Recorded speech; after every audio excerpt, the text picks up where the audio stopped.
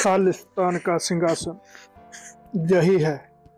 महाराजा रणजीत सिंह का वह सोने का सिंहासन, जो डोगरों की गद्दारी की वजह से राज गुलाम हो गया अंग्रेज़ों का और अंग्रेज़ कोहनूर और सिंहासन सब कुछ इंग्लैंड ले गए।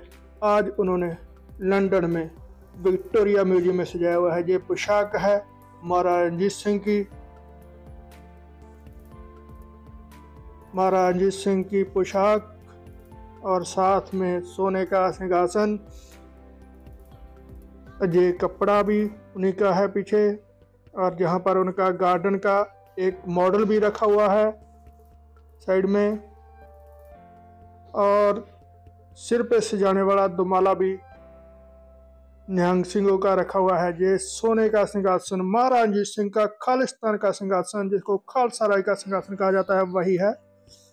गौर से देखिए इसको, यही है, ये है दुमाला, जो निहंग सिंह सजाते हैं।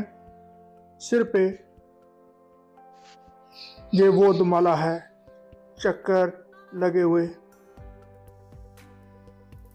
ये महाराज रणजीत सिंह की वो पोशाक है, शाही पोशाक।